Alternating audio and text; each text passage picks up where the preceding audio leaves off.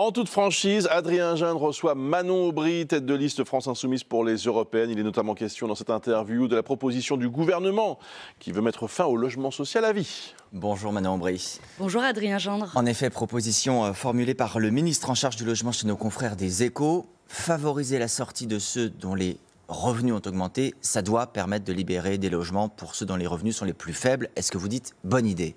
C'est déjà euh, possible de réévaluer à la fois euh, le montant euh, payé par, par les foyers. Et malgré tout, il reste des milliers non, mais La réalité, Adrien Gindre, c'est qu'on a 4 millions de mal logés dans le pays, on a plus de 2 millions de personnes qui demandent un logement social. Et que fait ce gouvernement? Il s'attaque à la loi SRU, qui est la loi sur le logement social. Alors je réexplique juste. En y intégrant. Il dit on va mettre les logements intermédiaires pour la classe moyenne, en plus des logements sociaux dans les obligations des villes. Ce qui permettra en pratique de financer moins de logements sociaux, notamment pour les classes les plus populaires. Donc, vous voyez, ce gouvernement, finalement, a fait de la chasse aux pauvres sa politique générale, faute de répondre aux besoins des classes populaires et des hier, classes les plus hier, Hier, le chef de l'État dit il n'y aura pas d'augmentation d'impôts. Ça, c'est antisocial de dire pas d'augmentation d'impôts, on préserve le pouvoir d'achat qu'est-ce qui se passe depuis un certain nombre d'années? Il s'attaque systématiquement aux services publics. Et depuis quelques jours, on a le concours Lépine des pires idées en matière sociale. Le lundi, ils veulent faire une réforme de l'assurance chômage, faire la poche, la poche, des chômeurs.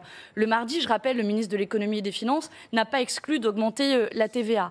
Le mercredi, vous le voyez, ils n'excluent euh, pas, c'est le président euh, du groupe macroniste à l'Assemblée nationale qui a parlé du gel des pensions de retraite.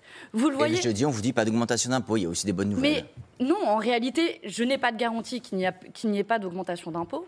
Et le gouvernement a annoncé quand même 10 milliards d'euros d'économies, puis 10 milliards supplémentaires, 20 milliards d'euros, qui vont prendre où? Ils vont prendre dans la poche de l'éducation nationale. de l'État. Dans la poche. Mais oui, mais demain, ce sera. Il ne faut pas faire d'économies. On ne fait rien du tout. On laisse le déficit déraper. Moi, ma politique, elle est très claire. Plutôt que de mettre à contribution les plus pauvres de notre pays, plutôt que de s'attaquer davantage encore à nos services publics, qu'il y ait moins de professeurs dans nos écoles, moins de soignants dans nos hôpitaux, que le reste à charge sur les médicaments augmente, bref, ce que fait le gouvernement, je veux mettre à contribution celles et ceux qui se sont enrichis pendant la crise. C'est les super profits des entreprises, par exemple énergéticiennes de 30 milliards d'euros. Le gouvernement n'est pas fermé Vous savez, à cette idée. Les 500 plus grandes euh, familles possèdent 45% des richesses. Pourquoi on ne les mettrait pas, elles, à contribution, plutôt que celles et ceux qui nous regardent là, qui galèrent à finir leur fin de mois Mais vous le voyez bien que nous payons déjà, quand on assèche nos services publics, quand vous payez plus cher vos médicaments, en réalité, c'est comme une augmentation d'impôts. Vous payez déjà cette crise.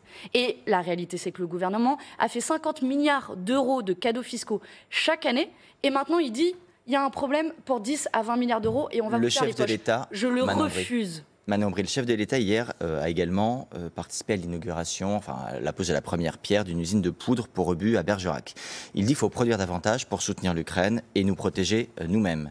Il se trouve que l'Ukraine demande des armes supplémentaires. la tête de liste écologiste, Marie Toussaint, dit l'Union européenne doit faire mieux. Est-ce que vous êtes d'accord? L'Union européenne doit faire mieux, mais il y a d'abord une certaine hypocrisie de la part du gouvernement qui a asséché notre économie et notre industrie de défense.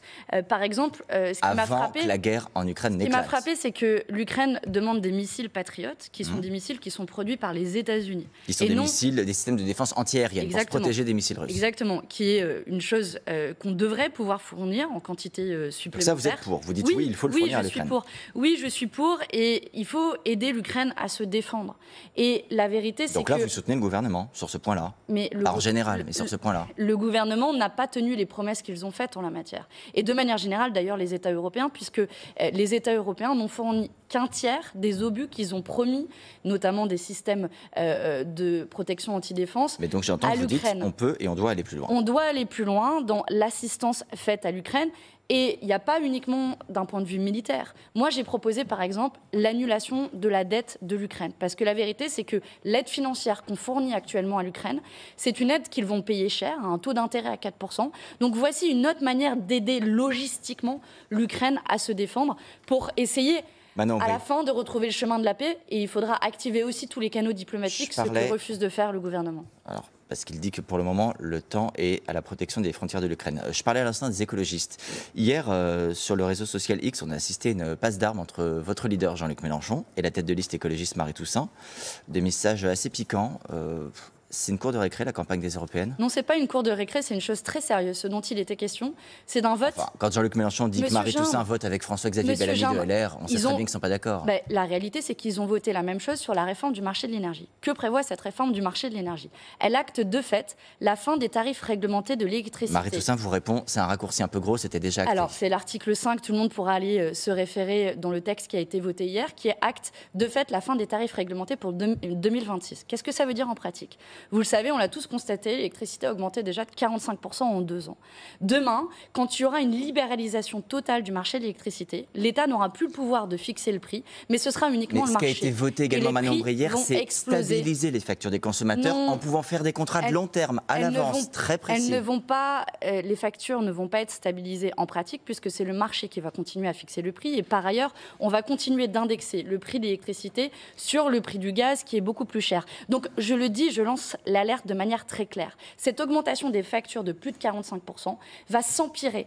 Et elle, ces et factures vous vraiment que les autres partis de gauche, Manon Aubry, veulent que l'électricité augmente Monsieur Gindre, que les écologistes et les socialistes veulent que l'électricité augmente Dans ce programme de la NUPES que nous avons défendu collectivement, il y avait la défense des tarifs réglementés de l'électricité. Moi, c'est ça que je vais défendre vous dites que les autres partis de gauche ne sont pas de gauche, que Marie Toussaint et trahissent ce projet et je le regrette, Monsieur Gindre. Vous savez, j'avais proposé de cesse depuis des mois qu'on ait une liste commune de la NUPES sur la base de ce programme. Et je le dis à ceux qui nous regardent, si vous ne voulez pas que vos factures d'énergie explosent dans les années qui viennent, il faut protéger l'énergie comme un bien commun. On a compris l'intention. Il faut que l'énergie ne soit pas livrée aux mains du marché. Votre directeur de campagne dit tout dans le Parisien ce matin. Il dit il y a une campagne idéologique entre nous pour déterminer quel sera le centre de gravité de la gauche pour la suite. En fait, vous êtes en train de jouer 2027, d'ores déjà. Je, je suis en train de jouer des élections européennes pour construire d'abord, oui, l'après-Macron.